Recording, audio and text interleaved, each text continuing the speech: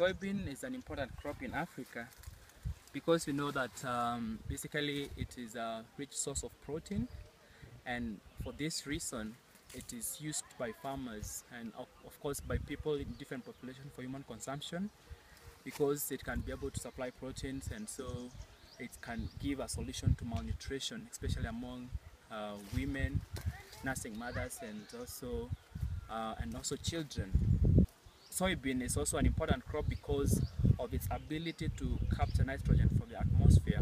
It's able to in improve soil fertility. Soybean rust was first um, reported in Africa in 1996 in Uganda, but it has so far spread across most of the soybean growing areas in Africa.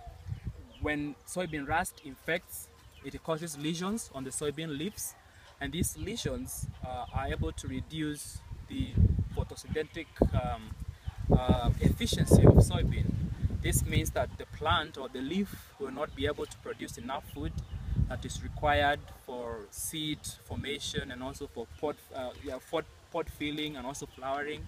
And this now will reduce the size of seed, can also reduce the number of seeds, and these are components that contribute to yield loss. And so one of the solutions that is used for protecting against soybean rust is the use of fungicides. And um, but uh, this is mostly used in the, in the developed world like Brazil and, and, America. And also in Africa the large scale farmers are using them. But the problem is that uh, these fungicides increase the the, the, the, the, cost of production. And also they have the problem of, uh, of um, I mean they have environmental they cause environmental risk and, and health issues. The best control option that has been uh, shown so far is use of resistant varieties. However, there is no commercial soybean variety that has been released because soybean rust is uh, a highly variable disease in terms of its pathogenicity and also in, in terms of its virulence. So in this case, we want to look at how we can be able to come up with a variety that is able to resist all soybean uh, races that probably might be present in any given region.